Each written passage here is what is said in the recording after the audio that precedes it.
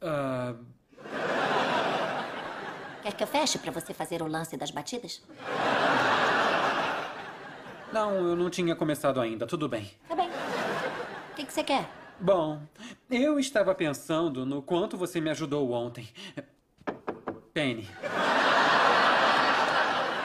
E eu só queria dizer a você, Penny,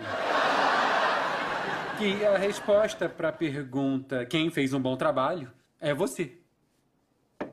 Penny. Jura? Juro, você é muito natural em frente à câmera. E eu achei as suas sugestões muito interessantes. Ai, querido, eu ganhei o meu dia. Tá bem.